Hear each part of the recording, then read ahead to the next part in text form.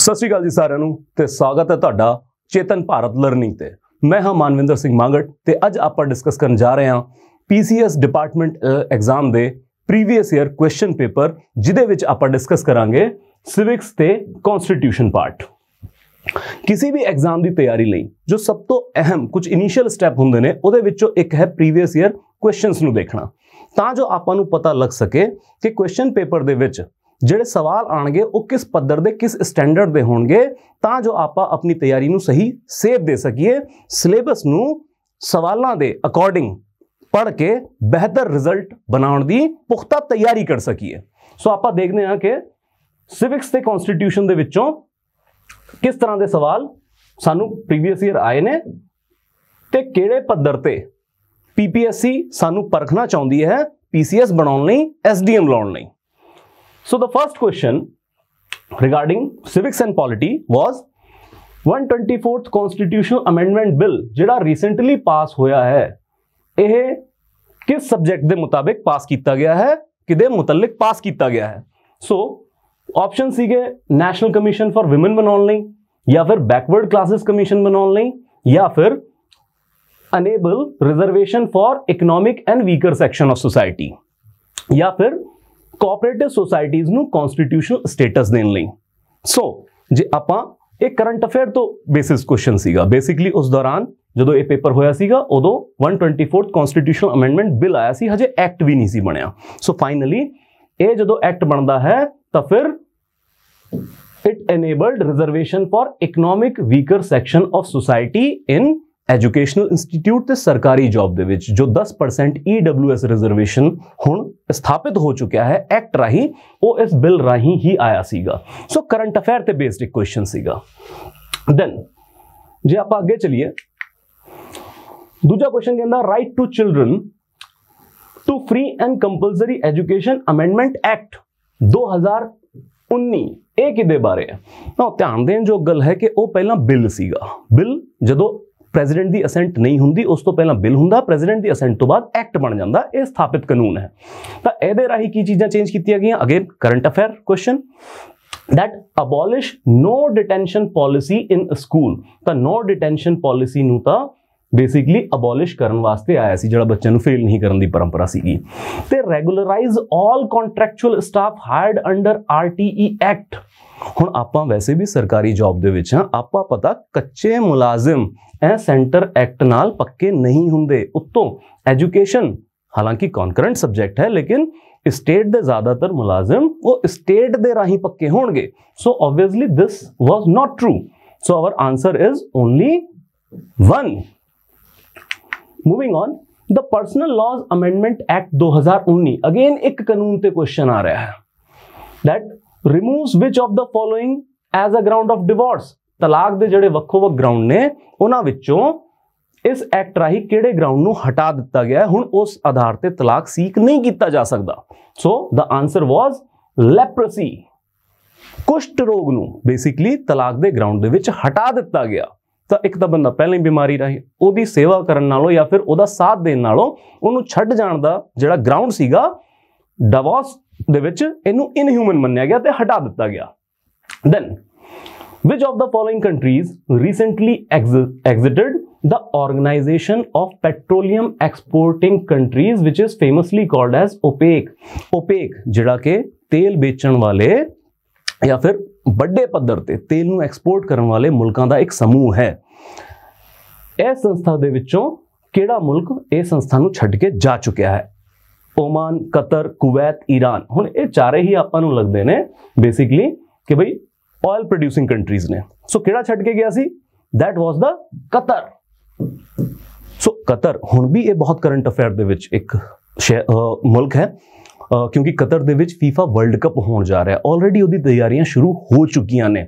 ਇਹ ਕਤਰ ਨੂੰ ਤੁਸੀਂ ਯਾਦ ਰੱਖਣਾ, ਇਹ ਦੁਬਾਰਾ ਤੋਂ ਕਰੰਟ ਅਫੇਅਰ ਦੇ ਵਿੱਚ ਹੈ ਕੰਟਰੀ ਔਰ ਇਹ ਬਹੁਤ ਪ੍ਰੋਮਿਨੈਂਟ ਸਵਾਲ ਹੈ ਕਰੰਟ ਅਫੇਅਰ ਦਾ ਇਸ ਵਾਰੀ ਕਿ FIFA ਵਰਲਡ ਕੱਪ ਜੋ ਦੁਨੀਆ ਦਾ ਸਭ ਤੋਂ ਵੱਡਾ ਖੇਲ ਆਯੋਜਨ ਹੈ ਆਫਟਰ 올림픽ਸ ਇਹ ਕਿੱਥੇ ਹੋਣ ਜਾ ਰਿਹਾ ਹੈ? That is the qatar then, simple ਸਵਾਲ, ਸਿੱਧਾ ਸਵਾਲ which article of the constitution makes provision for disqualification of panchayat members? ਸੰਵਿਧਾਨ ਦੀ ਕਿਹੜੀ ਧਾਰਾ ਪੰਚਾਇਤ ਮੈਂਬਰ ਦੇ ਡਿਸਕੁਆਲੀਫਿਕੇਸ਼ਨ ਦੀ ਗੱਲ ਕਰਦੀ ਹੈ ਡਿਸਕੁਆਲੀਫਿਕੇਸ਼ਨ ਦੇ ਬਾਰੇ ਉੱਥੇ ਲਿਖਿਆ ਹੋਇਆ ਹੈ ਹੁਣ ਪੰਚਾਇਤੀ ਰਾਜ ਇੰਸਟੀਟਿਊਸ਼ਨ ਤੁਹਾਡੇ ਸਿਲੇਬਸ ਦੇ ਵਿੱਚ ਕਲੀਅਰ ਕੱਟ ਮੈਂਸ਼ਨਸ ਹੈ ਐਜ਼ ਅ ਟੌਪਿਕ ਬਾਕੀ ਟੌਪਿਕ ਤਾਂ ਕਨਸਟੀਟਿਊਸ਼ਨ ਦੀ ਪ੍ਰੋਵੀਜ਼ਨਸ ਦੇ ਵਿੱਚ ਲੁਕੇ ਵੀ ਹੋਏ ਨੇ ਕਨਸਟੀਟਿਊਸ਼ਨ ਪ੍ਰੋਵੀਜ਼ਨ ਤਾਂ ਸਾਰਾ ਹੀ ਕਨਸਟੀਟਿਊਸ਼ਨ ਹੋ ਗਿਆ। ਬਟ ਇਹ ਟੌਪਿਕ ਸਪੈਸ਼ਲੀ ਸਿਵਿਕਸ ਦੇ ਵਿੱਚ ਮੈਂਸ਼ਨ ਕੀਤਾ ਗਿਆ। ਤਾਂ ਜੋ ਆਪਾਂ ਉਮੀਦ ਕਰਦੇ ਹਾਂ ਕਿ ਪੰਚਾਇਤੀ ਰਾਜ ਤੇ ਮਿਊਨਿਸਪੈਲਿਟੀ ਦੇ ਕੁਐਸਚਨ ਸ਼ੋਰ ਸ਼ਾਰਟ ਆਉਣਾ ਹੀ ਹੈ ਔਰ ਆਉਂਦਾ ਵੀ ਰਿਹਾ ਹੈ ਪਿਛਲੇ ਸਾਲਾਂ ਦੇ ਵਿੱਚ। ਸੋ ਬੇਸਿਕਲੀ ਜਦੋਂ ਆਪਾਂ ਇਹ ਚੀਜ਼ ਪੜ੍ਹਦੇ ਹਾਂ ਤਾਂ ਫੈਕਚੁਅਲ ਆਨਸਰ ਜਿਹਨੂੰ ਆਪਾਂ ਨੋਟਸ ਦੇ ਵਿੱਚ ਵੀ ਲਿਖ ਲੈਂਦੇ ਆ that is article 243f this is the right answer ਇਹਦੇ ਵਿੱਚ ਅਯੋਗਤਾ ਦਾ ਵਰਣਨ ਕੀਤਾ ਗਿਆ ਹੈ ਸੰਵਿਧਾਨ ਦੇ ਵਿੱਚ ਪੰਚਾਇਤ ਮੈਂਬਰ ਤੋਂ ਰਿਲੇਟਡ ਜੇ ਅੱਗੇ ਚਲਿਏ, who issue notification for the inclusion of area under any municipal corporation? ਸੋ ਆਪਾਂ ਨੂੰ ਇਹ ਪਤਾ ਹੈ ਕਿ ਤਿੰਨ ਤਰ੍ਹਾਂ ਦੀ ਮੁਨਿਸਪੈਲਿਟੀ ਹੁੰਦੀ ਹੈ। ਜੇ ਨਹੀਂ ਪਤਾ ਤਾਂ ਆਪਾਂ ਕਲਾਸਿਸ ਦੇ ਵਿੱਚ ਇਹਨੂੰ ਬਹੁਤ ਚੰਗੀ ਤਰ੍ਹਾਂ ਕਵਰ ਕਰਾਂਗੇ। ਕਿਉਂਕਿ ਮੈਂ ਪਹਿਲਾਂ ਹੀ ਕਹਿ ਚੁੱਕਿਆ ਹਾਂ ਦੈਟ ਪੰਚਾਇਤੀ ਰਾਜ ਤੇ ਮੁਨਿਸਪੈਲਿਟੀ ਵੀ ਦੋਨੋਂ ਟੌਪਿਕ ਸਪੈਸੀਫਿਕਲੀ ਮੈਂਸ਼ਨਡ ਹੈ ਤੇ ਆਪਾਂ ਦੇਖ ਰਹੇ ਹਾਂ ਦੋਨੋਂ ਤੇ ਸਵਾਲ ਆ ਰਹੇ ਹਨ ਅੱਗੇ ਹੋਰ ਵੀ ਆਉਣਗੇ। ਸੋ ਬੇਸਿਕਲੀ ਤਿੰਨ ਤਰ੍ਹਾਂ ਦੀ ਮੁਨਿਸਪੈਲਿਟੀ ਜੇ ਆਪਾਂ ਜ਼ਿਕਰ ਕਰੀਏ, ਤੇ ਵੱਡੇ ਸ਼ਹਿਰਾਂ ਵਾਸਤੇ ਮਿਊਨਿਸਪਲ ਕਾਰਪੋਰੇਸ਼ਨ ਜੇ ਤੁਸੀਂ ਐਸੇ ਸ਼ਹਿਰ ਤੋਂ ਬਿਲੋਂਗ ਕਰਦੇ ਹੋ ਜਿੱਥੇ ਮੇਅਰ ਸਾਹਿਬ ਨੇ ਤੇ ਕਾਰਪੋਰੇਸ਼ਨ ਹੈ, ਵੱਡੇ ਸ਼ਹਿਰ ਦੀ ਗਿਣਤੀ ਚ ਆਉਂਦਾ। ਤੇ ਜੇ ਆਪਾਂ ਗੱਲ ਕਰੀਏ ਛੋਟੇ ਸ਼ਹਿਰਾਂ ਵਾਸਤੇ, ਤੇ ਮੁਨਿਸਪੈਲਿਟੀ ਜਾਂ ਫਿਰ ਸਿਟੀ ਮਿਊਨਿਸਪਲ ਤੇ ਟ੍ਰਾਂਜੀਸ਼ਨਲ ਏਰੀਆ ਉਹ ਇਲਾਕੇ ਜਿਹੜੇ ਪਿੰਡ ਤੋਂ ਸ਼ਹਿਰ ਬਣਨ ਜਾ ਰਹੇ ਨੇ, ਪਰ ਨਾ ਹਜੇ ਪਿੰਡ ਨੇ, ਨਾ ਹਜੇ ਸ਼ਹਿਰ ਬਣੇ ਨੇ। ਤਾਂ ਇਹਨਾਂ ਨੂੰ ਸਟੇਟ ਰਾਹੀਂ ਨੋਟੀਫਿਕੇਸ਼ਨ ਰਾਹੀਂ ਇਹਨਾਂ ਨੂੰ ਡੈਜ਼ਿਗਨੇਟ ਕੀਤਾ ਜਾਂਦਾ ਟ੍ਰਾਂਜੀਸ਼ਨਲ ਏਰੀਆ ਸੋ ਤਿੰਨ ਤਰ੍ਹਾਂ ਦੀ ਮਿਊਨਿਸਪੈਲਿਟੀ ਮੌਜੂਦ ਹੈ ਕਨਸਟੀਟਿਊਸ਼ਨਲ ਸਕੀਮ ਦੇ ਵਿੱਚ। ਸੋ ਇਹ ਕਹਿੰਦੇ ਜੇ ਕਿਸੇ ਇਲਾਕੇ ਨੂੰ ਮਿਊਨਿਸਪਲ ਕਾਰਪੋਰੇਸ਼ਨ ਦੇ ਵਿੱਚ ਸ਼ਾਮਿਲ ਕਰਨਾ ਹੋਵੇ ਅੱਜ ਅੱਜਕੱਲ ਜਿਵੇਂ ਆਪਾਂ ਦੇਖਦੇ ਹਾਂ ਕਿ ਸ਼ਹਿਰ ਵੱਧਦੇ ਜਾ ਰਹੇ ਨੇ, ਤੁਸੀਂ ਬਹੁਤ ਕਾਮਨਲੀ ਦੇਖਦੇ ਹੋਵੋਗੇ ਕਿ ਜੀ ਉਹ ਫਲਾਣੇ ਪਿੰਡ ਤੁਹਾਡੇ ਪੰਚਾਇਤ ਪੰਚਾਇਤ ਤਾਂ ਜੀ ਟੁੱਟ ਗਈ, ਸਾਡਾ ਤਾਂ ਮਿਊਨਿਸਪੈਲਿਟੀ ਜਾਂ ਮਿਊਨਿਸਪਲ ਕਾਰਪੋਰੇਸ਼ਨ ਦੇ ਵਿੱਚ ਆ ਚੁੱਕਿਆ। ਹੁਣ ਐਮਸੀ ਦੀ ਚੋਣਾਂ ਹੋਣਗੀਆਂ। ਸੋ ਬੇਸਿਕਲੀ ਸਵਾਲ ਇਹ ਹੈ ਕਿ ਕਿਸੇ ਇਲਾਕੇ ਨੂੰ ਕਾਰਪੋਰੇਸ਼ਨ ਦੇ ਵਿੱਚ ਸ਼ਾਮਿਲ ਕਰਨ ਦੀ ਅਥਾਰਟੀ ਕਿਹਦੇ ਕੋਲ ਹੈ? ਅਖਤਿਆਰ ਕਿਹਦੇ ਕੋਲ ਹੈ? ਸੋ ਮਿਊਨਿਸਪਲ ਕਾਰਪੋਰੇਸ਼ਨ ਨਾ ਜੀ, ਇਹ ਨਹੀਂ ਤਾਂ ਐਗਜ਼ੀਕਿਊਟਿਵ ਬਾਡੀ ਤੇ ਚੀਫ ਇਲੈਕਸ਼ਨ ਕਮਿਸ਼ਨਰ ਇਹਨਾਂ ਕੋਲ ਵੀ ਇਸ ਤਰ੍ਹਾਂ ਦੇ ਕੋਈ ਨਹੀਂ ਹੈ। ਮੇਅਰ ਸਾਹਿਬ ਤਾਂ ਵੈਸੇ ਹੀ ਆਪਾਂ ਪੜਾਂਗੇ ਬਹੁਤ ਵੀਕ ਅਥਾਰਟੀ ਹੈ। ਇਹਨਾਂ ਦਾ ਸਿਰਫ ਪੋਲਿਟੀਕਲ ਵੇਟੇਜ ਹੁੰਦਾ ਅਸਲ 'ਚ। ਕਨਸਟੀਟਿਊਸ਼ਨਲ ਸਕੀਮ ਦੇ ਵਿੱਚ ਇਹਨਾਂ ਨੂੰ ਕੋਈ ਖਾਸ ਪਾਵਰਾਂ ਨਹੀਂ ਦਿੱਤੀਆਂ ਹੋਈਆਂ। ਸੋ ਫਾਈਨਲ ਸਟੇਟ ਦੇ ਹੱਥ ਹੈ ਜੀ ਇਹ ਪਾਵਰ ਤੇ ਆਪਣਾ ਆਨਸਰ ਹੈ ਗਵਰਨਰ ਸਾਹਿਬ। Then, the right to form cooperative societies. Cooperative society ਬਣਾਉਣ ਦਾ ਜਿਹੜਾ ਅਧਿਕਾਰ ਹੈ, ਇਹਨੂੰ ਇੱਕ ਫੰਡਾਮੈਂਟਲ ਰਾਈਟ ਬਣਾ ਦਿੱਤਾ ਗਿਆ ਤੇ ਇਹ ਦੱਸੋ ਕਿਹੜੀ ਅਮੈਂਡਮੈਂਟ ਰਾਹੀਂ ਬਣਾਇਆ ਗਿਆ? ਮਤਲਬ ਇਸ ਤੋਂ ਸੌਖਾ ਕੁਐਸਚਨ ਨਹੀਂ ਪੁੱਛ ਸਕਦੀ ਪੀਪੀਐਸਸੀ ਸਿੰਪਲ ਫੈਕਚੁਅਲ ਹੈ ਤੇ ਆਪਾਂ ਅਮੈਂਡਮੈਂਟਸ ਨੂੰ ਵੀ, ਕਿਉਂਕਿ ਉਹ ਵੀ ਕਨਸਟੀਟਿਊਸ਼ਨ ਦੀ ਅਮੈਂਡਮੈਂਟਸ ਤੁਹਾਡੇ ਸਿਲੇਬਸ ਦੇ ਵਿੱਚ ਮੈਂਸ਼ਨ ਨੇ। ਇਹਨੂੰ ਵੀ ਆਪਾਂ ਚੰਗੀ ਤਰ੍ਹਾਂ ਕਵਰ ਕਰਨਾ ਤੇ answer is just simple 97th constitution amendment 2011 so basically ਮਤਲਬ ਇਹ ਉਹ ਚੀਜ਼ਾਂ ਨੇ ਜਿਹੜਾ ਆਪਾਂ ਚੰਗੀ ਤਰ੍ਹਾਂ ਆਪਣੇ ਸਿਲੇਬਸ ਨੂੰ ਪੜ੍ਹ ਲਈਏ ਕਵਰ ਕਰ ਲਈਏ ਤਾਂ ਫਿਰ ਆਪਾਂ ਨੂੰ ਬਾਕੀ ਆਪਸ਼ਨ ਦੇਖਣ ਦੀ ਵੀ ਲੋੜ ਨਹੀਂ ਪੈਣੀ ਆਪਾਂ ਸਿੱਧਾ ਆਨਸਰ ਤੇ ਹਿੱਟ ਕਰਾਂਗੇ then next question choose the correct statement ਤੇ ਇਹਨਾਂ ਵਿੱਚੋਂ ਕਰੈਕਟ ਸਟੇਟਮੈਂਟ ਚੂਜ਼ ਕਰੋ ਜਿਵੇਂ ਆਪਾਂ ਦੇਖ ਰਹੇ ਹਾਂ ਕਿ ਕੱਲੀ ਸੱਚ ਹੈ ਦੂਜੀ ਸੱਚ ਹੈ ਪਹਿਲੀ ਗੱਲ ਦੂਜੀ ਸੱਚ ਕਿ ਦੋਨੋਂ ਝੂਠ ਇਸ ਤਰੀਕੇ ਦੀ ਆਪਸ਼ਨਸ ਸਾਡੇ ਕੋਲ ਨੇ ਸੋ ਸਟੇਟਮੈਂਟ ਕਹਿੰਦੀ ਹੈ ਪਹਿਲੀ that prime minister office deals with the table of precedence and rank and order the officials of union and state government. ਸੋ ਜਿਹੜਾ ਇੱਕ ਟੇਬਲ ਆਫ ਪ੍ਰੀਸੀਡੈਂਸ ਹੁੰਦਾ, ਜਿਹੜਾ ਪ੍ਰੋਟੋਕਾਲ ਵਾਸਤੇ ਇਹ ਤੈਅ ਕਰਦਾ ਹੈ ਕਿ ਕਿਹੜੀ ਅਥਾਰਟੀ ਦਾ ਸਥਾਨ ਪਹਿਲੇ ਨੰਬਰ ਤੇ ਦੂਜੇ, ਤੀਜੇ, ਚੌਥੇ, ਇਸ ਤਰੀਕੇ ਨਾਲ ਇੱਕ ਲਿਸਟ ਬਣਾਈ ਜਾਂਦੀ ਹੈ ਪ੍ਰੋਟੋਕਾਲ ਨੂੰ ਮੈਨੇਜ ਕਰਨ ਵਾਸਤੇ। ਤੇ ਇਹ ਟੇਬਲ ਆਫ ਪ੍ਰੈਸੀਡੈਂਸ ਹਮੇਸ਼ਾ ਟੌਪ ਤੇ, ਜਿਹਦਾ ਸਥਾਨ ਕੋਈ ਨਹੀਂ ਹਿਲਾ ਸਕਦਾ, ਉਹ ਹੈ ਪ੍ਰੈਜ਼ੀਡੈਂਟ ਆਫ ਇੰਡੀਆ ਉਹ ਹਮੇਸ਼ਾ ਪਹਿਲੇ ਨੰਬਰ ਤੇ ਹੋਣਗੇ, ਤਾਂ ਹੀ ਉਹਨਾਂ ਨੂੰ ਫਸਟ ਸਿਟੀਜ਼ਨ ਆਫ ਇੰਡੀਆ ਵੀ ਕਿਹਾ ਜਾਂਦਾ ਹੈ। ਤੇ ਇਹਦੇ ਵਾਸਤੇ ਦੂਜੀ ਸਟੇਟਮੈਂਟ ਹੈ that prime minister takes precedence prime minister ਦਾ ਸਥਾਨ ਕਿਹੜਾ ਹੈ? ਇਹ ਸਟੇਟਮੈਂਟ ਕਹਿੰਦੀ ਹੈ ਜੀ after president chief justice of India ਤੇ ਵਾਈਸ ਪ੍ਰੈਜ਼ੀਡੈਂਟ ਇਸ ਤੋਂ ਬਾਅਦ ਚੌਥੇ ਨੰਬਰ ਤੇ ਕੀ ਪ੍ਰਾਈਮ ਮਿਨਿਸਟਰ ਸਾਹਿਬ ਆਉਂਦੇ ਨੇ? ਸੋ ਬੇਸਿਕਲੀ ਇਹ ਦੋਨੋਂ ਹੀ ਸਟੇਟਮੈਂਟਸ ਝੂਠ ਨੇ। ਇੱਥੇ ਥੋੜਾ ਉਹਨਾਂ ਨੇ ਗੇਮ ਪਲੇ ਕੀਤੀ ਹੈ।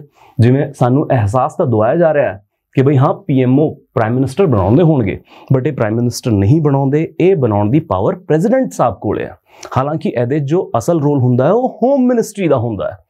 ਇਹਨੂੰ ਪ੍ਰੀਜ਼ਰਵ ਕਰਨਾ ਹੋਮ ਮਿਨਿਸਟਰੀ ਦਾ ਕੰਮ ਹੈ। ਤਾਂ ਪੀਐਮਓ ਤੋਂ ਕਿਤੇ ਸੀਨ ਚ ਆ ਹੀ ਨਹੀਂ ਰਿਹਾ। ਔਰ ਦੂਜਾ ਪ੍ਰਾਈਮ ਮਿਨਿਸਟਰ ਦਾ ਸਥਾਨ ਜਿਹੜਾ ਇਹਨਾਂ ਨੇ ਚੀਫ ਜਸਟਿਸ ਆਫ ਇੰਡੀਆ ਤੋਂ ਵੀ ਥੱਲੇ ਕਰਤਾ, ਇਹ ਗਲਤ ਹੈ। ਪ੍ਰੈਜ਼ੀਡੈਂਟ ਵਾਈਸ ਪ੍ਰੈਜ਼ੀਡੈਂਟ ਤੋਂ ਬਾਅਦ ਪ੍ਰਾਈਮ ਮਿਨਿਸਟਰ ਦਾ ਰੈਂਕ ਆਉਂਦਾ ਹੈ ਟੇਬਲ ਆਫ ਪ੍ਰੈਸੀਡੈਂਸ ਦੇ ਵਿੱਚ। So both the statements 1 and 2 are false.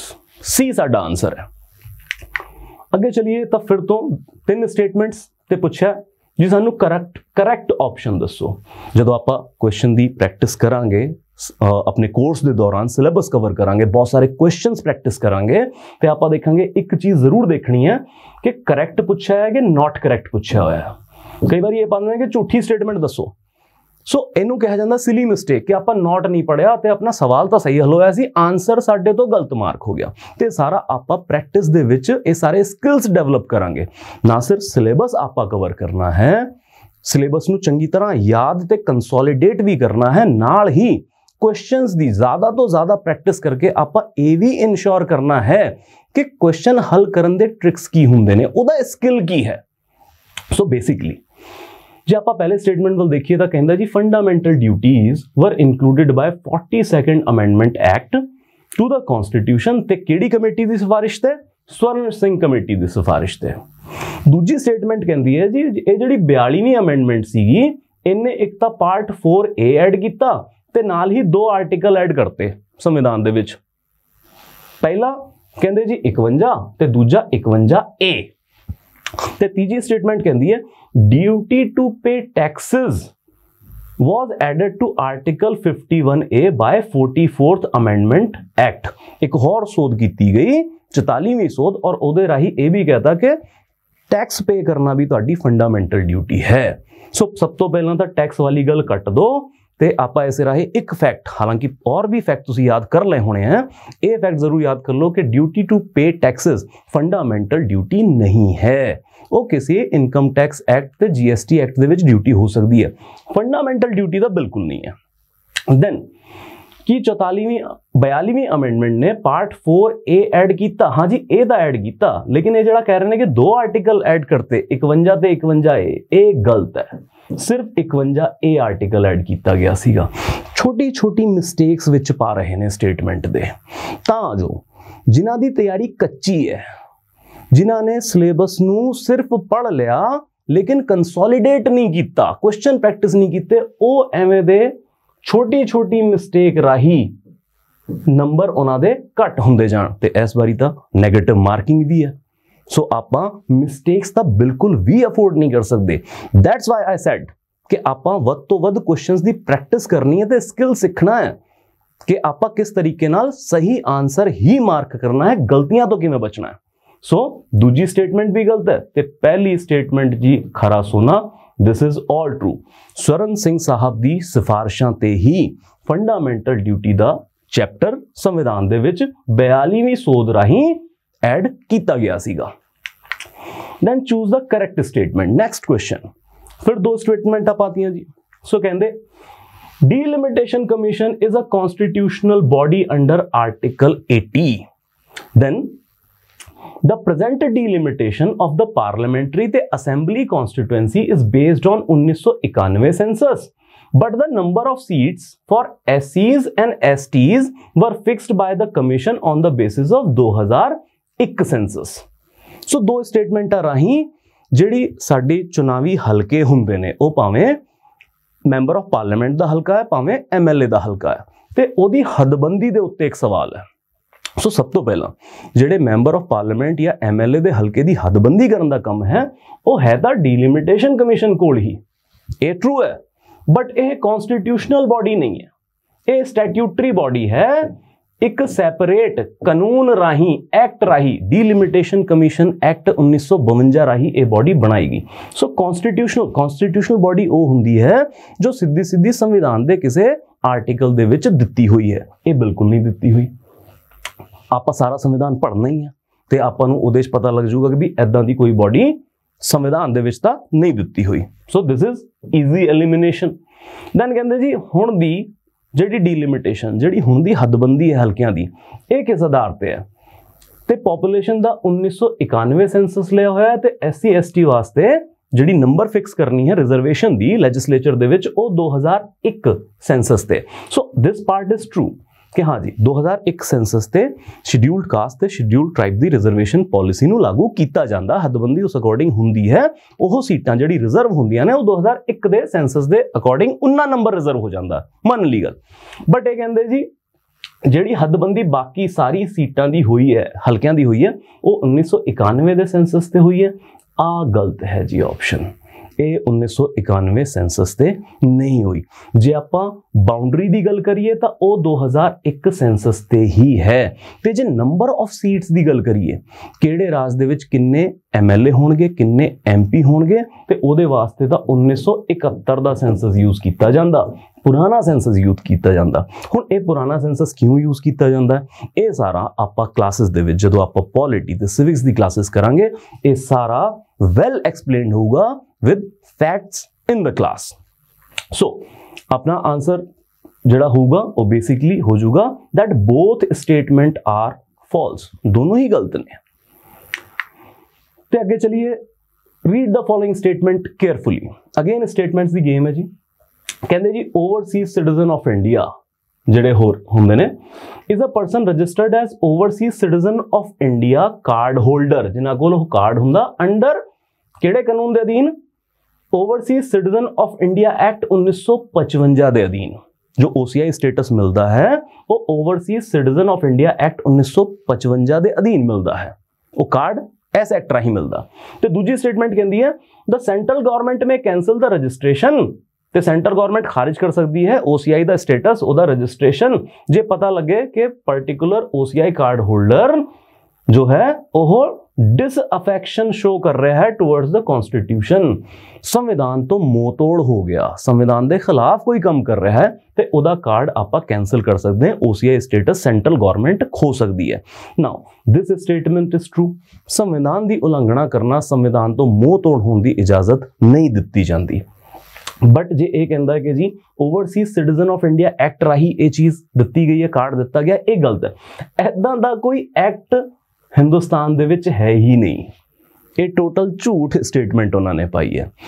ਕਿਸ ਐਕਟ ਰਾਹੀਂ ਮਿਲਦਾ ਹੈ ਕਾਰਡ ਉਹ ਹੈ citizen citizen act citizenship act 1955 simple citizenship act 1955 ਰਾਹੀਂ ਇਹ ਕਾਰਡ ਸਮੁੰਦਰੋਂ ਪਾਰ ਰਹਿ ਰਹੇ ਲੋਕਾਂ ਨੂੰ, ਜਿਹੜੇ ਭਾਰਤੀ ਮੂਲ ਦੇ ਉਹਨਾਂ ਨੂੰ ਦਿੱਤਾ ਜਾਂਦਾ ਹੈ। So our answer is that only 2 is correct B option ਤੇ ਅੱਗੇ ਜੇ ਆਪਾਂ ਚਲੀਏ ਤਾਂ which of the following are the feature of 74th amendment act on municipalities? ਹੁਣ ਆਪਾਂ ਨੂੰ ਪਤਾ ਜਦੋਂ ਆਪਾਂ ਪੜਾਂਗੇ ਤੇ 73rd ਅਮੈਂਡਮੈਂਟ ਹੋਈ ਸੀ 73ਵੀਂ ਸੋਧ ਹੋਈ ਸੀ ਪੰਚਾਇਤਾਂ ਨੂੰ ਸੰਵਿਧਾਨਿਕ ਦਰਜਾ ਦੇਣ ਲਈ ਤੇ 74ਵੀਂ ਅਮੈਂਡਮੈਂਟ ਹੋਈ ਹੈ ਮੁਨਿਸਪੈਲਿਟੀ ਨੂੰ ਸੰਵਿਧਾਨਿਕ ਦਰਜਾ ਦੇਣ ਲਈ। ਸੋ ਕਿਹੜੀ ਸਟੇਟਮੈਂਟ ਇਸ ਰਾਹੀਂ ਟਰੂ ਹੈ? ਸੋ ਅਗੇਨ ਸਾਡੇ ਤੋਂ ਕਰੈਕਟ ਸਟੇਟਮੈਂਟ ਪੁੱਛ ਰਹੇ ਨੇ। ਪਹਿਲੀ ਇਹ ਕਹਿੰਦੇ ਜੀ, ਜਿਹੜੀ ਸ਼ਡਿਊਲਡ ਕਾਸਟ ਤੇ ਸ਼ਡਿਊਲਡ ਟ੍ਰਾਈਬ ਦੀ ਸੀਟ ਦੀ ਰਿਜ਼ਰਵੇਸ਼ਨ ਹੈ it is in proportion to the population in municipal area municipal area ਜਿੰਨੇ ਪਰਸੈਂਟ ਪੋਪੂਲੇਸ਼ਨ ਹੋਗੀ ਉਨੇ ਪਰਸੈਂਟ ਸੀਟਸ ਰਿਜ਼ਰਵ ਹੋ ਜੂਗੀ ਐਸਸੀ ਤੇ ਐਸਟੀ ਦੇ ਹੱਕ ਦੇ ਵਿੱਚ। Then mandatory periodic election at every 5 year ਹਰ 5 ਸਾਲ ਤੇ ਇਲੈਕਸ਼ਨ ਕਰਾਣੀ ਹੈ ਮਿਊਨਿਸਪੈਲਿਟੀ ਦੀ। ਮੈਨੂੰ ਲੱਗਦਾ ਇਹ ਸਟੇਟਮੈਂਟ ਤਾਂ ਤੁਸੀਂ ਕੈਚ ਆਲਰੇਡੀ ਕਰ ਲਈ ਹੋਣੀ ਹੈ ਕਿ ਹਾਂ ਜੀ, ਹਰ 5 ਸਾਲ ਤੇ ਐਮਸੀ ਦੀ ਇਲੈਕਸ਼ਨ ਹੁੰਦੀ ਹੈ। Then the procedure for maintenance of accounts and audit would be decided by the state governor ਕਿ ਇਹਨਾਂ ਦੇ ਅਕਾਊਂਟ ਤੇ ਆਡਿਟ ਗਵਰਨਰ ਸਾਹਿਬ ਡਿਸਾਈਡ ਕਰਨਗੇ ਕਿੱਦਾਂ ਹੋਣਗੇ next nagar panchayat for smaller urban area is provided smaller urban area ਦੇ ਵਿੱਚ ਨਗਰ ਪੰਚਾਇਤ ਹੋਊਗੀ ਤੇ ਆਖਰੀ ਗੱਲ ਹੈ that 1/3 seats shall be reserved for women, ਇੱਕ ਤਿਹਾਈ ਸੀਟ women ਵਾਸਤੇ ਰਿਜ਼ਰਵ ਹੈ। ਅੱਛਾ, ਇਹ ਵੀ ਸਟੇਟਮੈਂਟ ਤੁਸੀਂ ਫੜ ਲਈ ਹੋਣੀ ਹੈ ਕਿ ਹਾਂ ਜੀ 1/3 ਸੀਟ ਰਿਜ਼ਰਵ ਹੁੰਦੀ ਹੈ minimum excluding the number of seats reserved for SC and ST women ਕਿਆ ਇਹ ਜਿਹੜੀ 1/3 ਸੀਟ ਰਿਜ਼ਰਵ ਹੈ, ਇਸ ਤੋਂ ਵੱਖ 1/3 ਸੀਟ ਔਰ ਰਿਜ਼ਰਵ ਹੈ SC ਤੇ ST women ਵਾਸਤੇ। ਹੁਣ ਜੇ ਆਪਾਂ ਦੇਖੀਏ, ਤਾਂ ਆਪਾਂ ਦੂਜੀ ਸਟੇਟਮੈਂਟ ਆਪਾਂ ਨੂੰ ਪਤਾ ਲੱਗਿਆ ਇਹ ਟਰੂ ਹੈ। ਜੇ ਪਹਿਲੀ ਸਟੇਟਮੈਂਟ ਦੇਖੀਏ ਤਾਂ ਹਾਂ ਜੀ ਐਸਸੀ ਐਸਟੀ ਰਿਜ਼ਰਵੇਸ਼ਨ ਪਾਲਿਸੀ ਵੀ ਪੋਪੂਲੇਸ਼ਨ ਦੇ ਪ੍ਰੋਪੋਰਸ਼ਨ ਦੇ ਵਿੱਚ ਹੀ ਲਾਗੂ ਕੀਤੀ ਜਾਂਦੀ ਹੈ ਮਿਊਨਿਸਪੈਲਿਟੀਆਂ ਦੇ ਵਿੱਚ, ਪੰਚਾਇਤ ਦੇ ਵਿੱਚ ਵੀ। ਪਰ ਜੇ ਆਪਾਂ ਆਈਏ ਤੀਜੀ ਤੇ, ਤਾਂ ਤੀਜੀ ਆਪਸ਼ਨ ਗਲਤ ਹੈ ਆਡਿਟ ਤੇ ਅਕਾਊਂਟ ਸਟੇਟ ਗਵਰਨਰ ਸਾਹਿਬ ਨਹੀਂ ਡਿਸਾਈਡ ਕਰਦੇ। ਦੈਨ ਆਪਾਂ ਥੋੜੀ ਦੇਰ ਪਹਿਲਾਂ ਹੀ ਗੱਲ ਕੀਤੀ ਸੀਗੀ ਕਿਸੇ ਕੁਐਸਚਨ ਦੇ ਵਿੱਚ ਕਿ ਤਿੰਨ ਤਰ੍ਹਾਂ ਦੀ ਮਿਊਨਿਸਪੈਲਿਟੀ ਹੈ, ਵੱਡੇ ਸ਼ਹਿਰ ਵਾਸਤੇ ਮਿਊਨਿਸਪਲ ਕਾਰਪੋਰੇਸ਼ਨ ਛੋਟੇ ਸ਼ਹਿਰ ਵਾਸਤੇ ਸਮਾਲਰ ਅਰਬਨ ਏਰੀਆ ਵਾਸਤੇ ਸਿਟੀ ਮਿਊਨਿਸਪੈਲਿਟੀ ਤੇ ਨਗਰ ਪੰਚਾਇਤ ਕਿੱਥੇ ਹੁੰਦੀ ਆਪਾਂ ਗੱਲ ਕੀਤੀ ਸੀ ਟ੍ਰਾਂਜੀਸ਼ਨਲ ਏਰੀਆ ਜਿਹੜੇ ਪਿੰਡ ਸ਼ਹਿਰ ਬਣਨ ਜਾ ਰਹੇ ਨੇ, ਪਰ ਹਜੇ ਸ਼ਹਿਰ ਨਹੀਂ ਬਣੇ। So this is clear cut again wrong and finally ਇੱਕ ਦਿਹਾਈ ਸੀਟ ਔਮਨ ਵਾਸਤੇ ਰਿਜ਼ਰਵ ਹੈ। ਜੇ ਇੱਥੇ ਤੱਕ ਗੱਲ ਹੁੰਦੀ ਆਪਾਂ ਕਹਿੰਦੇ ਟਰੂ ਲੇਕਿਨ ਸਟੇਟਮੈਂਟ ਇੱਥੇ ਨਹੀਂ ਰੁਕਦੀ। ਇਹ ਕਹਿੰਦੇ excluding the number of seats reserved for SC and ST women ਇਹ ਚੀਜ਼ ਗਲਤ ਹੈ ਜੀ। ਬੇਸਿਕਲੀ ਇਹ ਐਕਸਕਲੂਡਿੰਗ ਨਹੀਂ ਹੈ ਇਨਕਲੂਡਿੰਗ ਹੈ। ਮਤਲਬ ਕਿ ਜਿਹੜੀ ਸੀਟਸ ਰਿਜ਼ਰਵ ਹੁੰਦੀਆਂ ਨੇ ਸ਼ਡਿਊਲਡ ਕਾਸਟ ਤੇ ਸ਼ਡਿਊਲਡ ਟ੍ਰਾਈਬ ਔਮਨ ਵਾਸਤੇ, ਉਹ ਵੀ ਓਵਰਆਲ 1/3 ਸੀਟਸ ਜੋ ਕਿ ਔਮਨ ਵਾਸਤੇ ਰਿਜ਼ਰਵ ਹੈ, ਉਹਦੇ ਵਿੱਚ ਹੀ ਸ਼ਾਮਿਲ ਹੁੰਦੀਆਂ, ਉਹਦੇ ਵਿੱਚ ਹੀ ਗਿਣਤੀ ਹੁੰਦੀ ਹੈ। ਸੋ ਦੇਖੋ ਕਿੰਨਾ ਮਾਈਨਰ ਫ਼ਰਕ ਪਾਇਆ। ਕਿਵੇਂ ਪੀਪੀਐਸਸੀ ਟੋਹਾ ਪੱਟ ਰਹੀ ਹੈ ਕਿ ਇੱਥੇ ਤਾਂ ਕੈਂਡੀਡੇਟ ਗਲਤੀ ਕਰੂਗਾ ਹੀ ਕਰੂਗਾ, ਭਾਵੇਂ ਸਿਲੀ ਮਿਸਟੇਕ ਕਰ ਜੇ। ਸਿਰਫ ਇਨਕਲੂਡਿੰਗ ਦੀ ਥਾਂ ਐਕਸਕਲੂਡਿੰਗ ਵਰਡ ਪਾਤਾ ਤੇ ਜਾਣਬੁੱਝ ਕੇ ਗਲਤੀ ਕਰਾਈ ਜਾ ਰਹੀ ਹੈ। ਸੋ ਆਨਸਰ ਆਪਣਾ ਹੈ 1 ਐਂਡ 2 ਓਨਲੀ ਡੀ ਅੱਗੇ ਆਪਾਂ ਇੱਕ ਕੁਐਸਚਨ ਦੇਖੀਏ। 12th schedule of the constitution does not contain the following 12ਵਾਂ schedule ਜੋ 74ਵੀਂ ਅਮੈਂਡਮੈਂਟ ਰਾਹੀਂ ਆਇਆ ਤੇ ਮੁਨਿਸਪੈਲਿਟੀ ਨੂੰ ਦੇ ਦਿੱਤੇ ਜਾਣ ਵਾਲੇ ਜਾਂ ਦਿਏ ਜਾਣ ਸਕਣ ਵਾਲੇ ਟੌਪਿਕਸ ਨਾਲ ਡੀਲ ਕਰਦਾ। ਉਹਦੇ ਵਿੱਚੋਂ ਕਿਹੜਾ ਡਸ ਨਾਟ ਕੰਟੇਨ ਮੈਂ ਹੁਣੇ ਕਿਹਾ ਸੀਗਾ, ਆਪਾਂ ਇਹ ਬੜਾ ਦੇਖਣਾ ਹੈ ਕਿ ਨਾਟ ਪੁੱਛਿਆ ਹੈ ਕਿ ਕਰੈਕਟ ਪੁੱਛਿਆ ਹੈ। ਤੇ ਇਹਦੇ ਚੋਂ ਕਿਹੜਾ ਨਹੀਂ ਹੈ, ਜਿਹੜਾ ਮਿਊਨਿਸਪੈਲਿਟੀ ਨੂੰ ਟ੍ਰਾਂਸਫਰ ਕੀਤਾ ਜਾ ਸਕਦਾ ਸਟੇਟ ਗਵਰਨਮੈਂਟ ਦੀ ਮਨਸ਼ਾ ਤੇ, ਉਹਦੀ ਇੱਛਾ ਤੇ, ਉਹਦੀ ਡਿਸਕ੍ਰਿਸ਼ਨਰੀ ਪਾਵਰ ਆ। ਸੋ ਫਾਇਰ ਸਰਵਿਸ ਹੁਣ ਆਪਾਂ ਨੂੰ ਪਤਾ ਸ਼ਹਿਰੀ ਤਾਂ ਇਹ ਹੈਗਾ। Then roads and construction of bridges ਇਹ ਵੀ ਚੀਜ਼ ਮਿਊਨਿਸਪੈਲਿਟੀ ਨੂੰ ਟ੍ਰਾਂਸਫਰ ਕੀਤੀ ਜਾ ਸਕਦੀ ਹੈ। Then market and fares and urban poverty alleviation ਹੁਣ ਜੀ ਅਰਬਨ ਪੋਵਰਟੀ ਐਲੀਵੇਸ਼ਨ ਤਾਂ ਹੋਊਗਾ ਹੀ ਹੋਊਗਾ। So basically market and fares ਇਹ ਨਹੀਂ ਦਿੱਤੇ ਜਾ ਸਕਦੇ, ਜਿਹੜੇ ਤੁਹਾਡੇ ਮੇਲੇ ਤੇ ਬਾਜ਼ਾਰ ਨੇ। ਹਾਲਾਂਕਿ ਇਹ ਟੌਪਿਕ 11ਵੇਂ ਸ਼ਡਿਊਲ 'ਚ ਹੈਗਾ, ਪੰਚਾਇਤਾਂ ਨੂੰ ਦਿੱਤਾ ਜਾ ਸਕਦਾ। 11ਵੇਂ ਸ਼ਡਿਊਲ ਦੇ ਵਿੱਚ 29 ਟੌਪਿਕ ਨੇ ਜਿਹੜੇ ਪੰਚਾਇਤਾਂ ਨੂੰ ਡੈਡੀਕੇਟ ਕੀਤੇ ਜਾ ਸਕਦੇ ਨੇ ਤੇ 12ਵੇਂ ਸ਼ਡਿਊਲ ਦੇ ਵਿੱਚ 18 ਟੌਪਿਕ ਨੇ ਜੋ ਸਟੇਟ ਸਰਕਾਰ ਦੀ ਡਿਸਕ੍ਰਿਸ਼ਨ ਤੇ ਮਿਊਨਿਸਪੈਲਿਟੀ ਨੂੰ ਡੈਡੀਕੇਟ ਕੀਤੇ ਜਾ ਸਕਦੇ ਨੇ। ਸੋ ਮਾਰਕੀਟ ਐਂਡ ਫੇਅਰਸ ਨਹੀਂ ਹੈ C is our answer not ਆਪਾਂ ਦੇਖਣਾ ਸੀਗਾ। ਨੈਕਸਟ 11th ਸ਼ਡਿਊਲ ਤੇ ਵੀ ਕੁਐਸਚਨ ਆਇਆ ਹੋਇਆ ਸਾਨੂੰ। ਆਪਾਂ ਦੇਖ ਰਹੇ ਹਾਂ ਕਿ ਪਰਮਾਰ ਹੈ ਪੰਚਾਇਤ ਤੇ ਮਿਊਨਿਸਪੈਲਿਟੀ ਨੂੰ ਲੈ ਕੇ। ਉਹ ਫੇਵਰਿਟ ਟੌਪਿਕ ਹੈ ਪੀਪੀਐਸਸੀ ਦਾ। ਸਿਲੇਬਸ 'ਚ ਵੀ ਉਹ ਚੀਜ਼ ਸਟੈਬਲਿਸ਼ ਕੀਤੀ ਹੈ ਵੱਖਰਾ ਲਿਖ ਕੇ। So 11th schedule of the constitution contains the following ਹੁਣ 11th ਸ਼ਡਿਊਲ ਦੇ ਟੌਪਿਕ ਵਿੱਚੋਂ ਕਿਹੜੇ ਹਨ? ਇਹਦੇ 'ਚ ਨਾਟ ਨਹੀਂ ਪੁੱਛਿਆ। 11th ਸ਼ਡਿਊਲ ਡੀਲਸ ਆਪਾਂ ਹੁਣੀ ਗੱਲ ਕੀਤੀ, ਪੰਚਾਇਤਾਂ ਨੂੰ ਦੇ ਜਾਣ, ਸਕਣ ਵਾਲੇ topics so cattle pound preservation of cruelty to animal so basically ਅਗਲਾ ਹੈਗਾ regulation of land reuse and construction of building ਤੀਜਾ ਹੈ regulation of slaughter house and tanneries ਤੇ ਚੌਥਾ ਹੈ maintenance of community assets.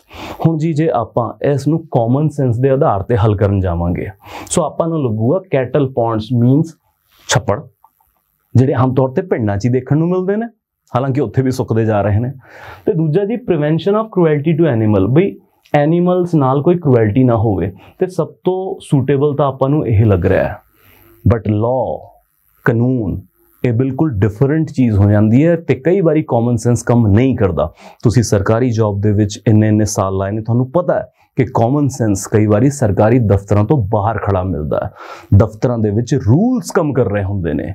Rule ਦੇ ਵਿੱਚ ਕੀ ਲਿਖਿਆ ਹੋਇਆ ਹੈ? ਸੋ ਇੰਟਰਸਟਿੰਗਲੀ ਇਹ ਆਨਸਰ ਤਾਂ ਬਿਲਕੁਲ ਨਹੀਂ ਹੈ। ਜ਼ਿਆਦਾਤਰ ਲੋਕੀ ਇਹ ਮਾਰਕ ਕਰਨਗੇ ਜੇ ਪ੍ਰੋਪਰ ਤਿਆਰੀ ਨਹੀਂ ਕੀਤੀ ਹੋਈ। ਦੂਜਾ land reuse construction of building ਏਵੀਜੀ municipality ਦਾ ਟੌਪਿਕ ਹੈ।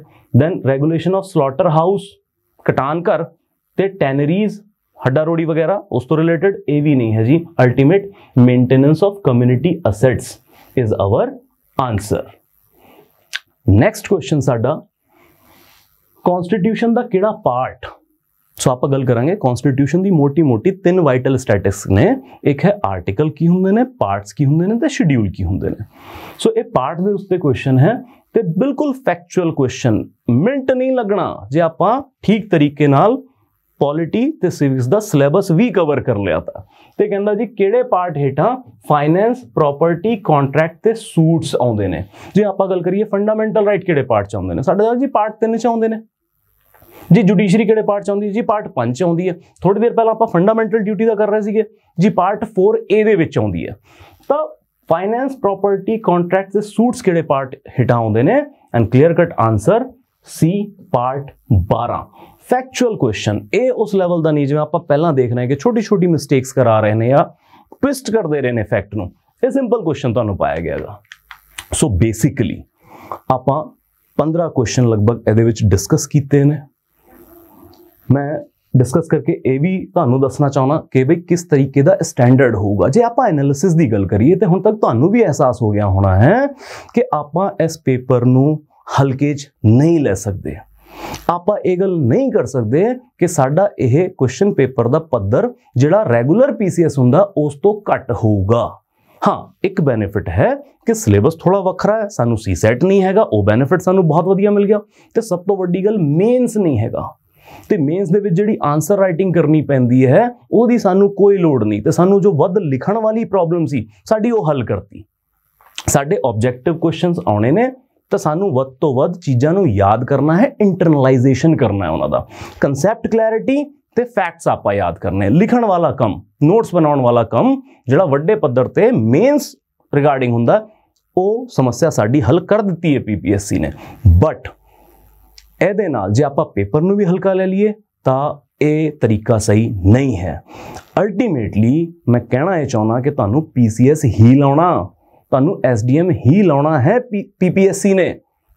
ਤੇ ਉਸੇ ਸਟੈਂਡਰਡ ਤੇ ਪਰਖ ਕੀਤੀ ਜਾਊਗੀ ਜਿਸ ਸਟੈਂਡਰਡ ਤੇ ਜਨਰਲ ਪੀਸੀਐਸ ਦੇ ਵਿੱਚ ਕੀਤੀ ਜਾਂਦੀ ਹੈ। ਔਰ ਘੱਟੋ ਘੱਟ ਆਪਾਂ ਤਾਂ ਹਲਕਾ ਲੈ ਕੇ ਇਹਨੂੰ ਬਿਲਕੁਲ ਨਹੀਂ ਚੱਲਾਂਗੇ। ਆਪਾਂ ਪ੍ਰੀਵੀਅਸ ਈਅਰ 15 ਕੁਐਸਚਨ ਦੇਖ ਚੁੱਕੇ ਹਾਂ, ਹਾਲਾਂਕਿ ਕੁਝ ਕੁਐਸਚਨ ਸਟ੍ਰੇਟ ਆਏ ਨੇ। ਸੋ ਤਿਆਰੀ ਦੇ ਬੇਸ ਤੇ ਵਧੀਆ ਤਿਆਰੀ ਦੇ ਬੇਸ ਤੇ ਬਹੁਤ ਸੌਖੇ ਉਹ ਹੱਲ ਹੋ ਜਾਣਗੇ ਲੇਕਿਨ ਨਾਲੋਂ ਨਾਲ ਅੱਧੇ ਕੁਐਸਚਨ ਐਵੇਂ ਦੇ ਸੀਗੇ ਜਿਹਦੇ ਚ ਸਟੇਟਮੈਂਟ ਪੁੱਛੀ ਹੋਈ ਹੈ ਨਾਟ ਪੁੱਛਿਆ ਹੋਇਆ ਉਹਦੇ ਵਾਸਤੇ ਸਾਨੂੰ ਕਲੀਅਰ ਕੱਟ ਤਿਆਰੀ ਚਾਹੀਦੀ ਹੈ ਆਪਾਂ ਦੇਖਿਆ ਇੱਕੋ ਫ਼ਰਕ ਪਾਇਆ ਸਟੇਟਮੈਂਟ ਦੇ ਵਿੱਚ ਇਨਕਲੂਡਿੰਗ ਤੇ ਐਕਸਕਲੂਡਿੰਗ ਦਾ ਐਸਸੀ ਐਸਟੀ ਮਹਿਲਾਵਾਂ ਦੀ ਰਿਜ਼ਰਵੇਸ਼ਨ ਇਨਕਲੂਡਿੰਗ ਹੈ ਜਾਂ ਐਕਸਕਲੂਡਿੰਗ ਹੈ ਐਸ ਇੱਕ ਸ਼ਬਦ ਤੇ ਹੀ ਸਾਰਾ ਕੁਐਸਚਨ ਪਲਟ ਗਿਆ ਸੋ ਇਹ ਚੀਜ਼ਾਂ ਆਪਾਂ ਉਦੋਂ ਫੜ ਪਾਵਾਂਗੇ। ਹੋਰਾਂ ਤੋਂ ਕੰਪੀਟੀਟਰਸ ਤੋਂ ਆਪਾਂ ਅੱਗੇ ਕਿਵੇਂ ਨਿਕਲਾਂਗੇ? ਜਦੋਂ ਇਹਨਾਂ ਚੀਜ਼ਾਂ ਦੀ ਵਧੀਆ ਤਿਆਰੀ ਕਰਾਂਗੇ। 골ਡਨ ਅਪੋਰਚੁਨਿਟੀ ਹੈ ਪੀਸੀਐਸ ਦੇ ਵਿੱਚ ਸਿਲੈਕਟ ਹੋਣ ਦੀ ਤੇ ਨਾਲ ਹੀ ਸਾਨੂੰ ਵਧੀਆ ਇੱਕ ਟਾਈਮ ਵੀ ਮਿਲਿਆ ਹੋਇਆ ਹੈ, ਕਿਉਂਕਿ ਆਪਾਂ ਉਮੀਦ ਕਰਦੇ ਹਾਂ ਫੈਬਰੂਅਰੀ ਮਾਰਚ ਤੱਕ ਤਾਂ ਪੇਪਰ ਨਹੀਂ ਹੋਣ ਵਾਲਾ। ਇੰਨਾ ਟਾਈਮ ਤਾਂ ਵੈਸੇ ਵੀ ਜਨਵਰੀ ਤੱਕ ਜੋ ਤੁਹਾਡਾ ਸਾਰਾ ਪ੍ਰੋਸੈਸ ਹੈ, ਉਹ ਚੱਲਣਾ ਹੈ, ਜੋ ਨੋਟੀਫਿਕੇਸ਼ਨ ਰਾਹੀਂ ਆਪਾਂ ਨੂੰ ਪਤਾ ਲੱਗਿਆ ਸੋ ਬੇਸਿਕਲੀ ਇੰਨਾ ਹੀ ਟਾਈਮ ਚਾਹੀਦਾ ਹੈ ਇਸ ਪੇਪਰ ਨੂੰ ਕਲੀਅਰ ਕਰਨ ਵਾਸਤੇ ਬਸ਼ਰਤੇ ਕਿ ਰੈਗੂਲਰ ਅਪਰੋਚ ਨਾਲ ਆਪਾਂ ਸਾਰੇ ਸਬਜੈਕਟਾਂ ਦੀ ਇੱਕ ਕੰਸੋਲੀਡੇਟਿਡ ਪੜ੍ਹਾਈ ਕਰੀਏ, ਇੱਕ ਮਜ਼ਬੂਤ ਤਿਆਰੀ ਕਰੀਏ, ਤਾਂ ਜੋ ਕੋਈ ਕਸਰ ਬਾਕੀ ਨਾ ਰਵੇ। ਕਿਸੇ ਵੀ ਆਧਾਰ ਤੇ ਆਪਾਂ ਕੰਪੀਟੀਟਰਸ ਤੋਂ ਪਿੱਛੇ ਨਾ ਹੋਈਏ। ਸੋ ਆਲ ਦਾ ਵੈਰੀ ਬੈਸਟ ਆਪਾਂ ਔਰ ਵੀ ਡਿਸਕਸ਼ਨਸ ਨਾਲ ਔਰ ਬਿਹਤਰ ਅੰਡਰਸਟੈਂਡਿੰਗ ਬਣਾਵਾਂਗੇ ਇਸ ਐਗਜ਼ਾਮ ਦੀ।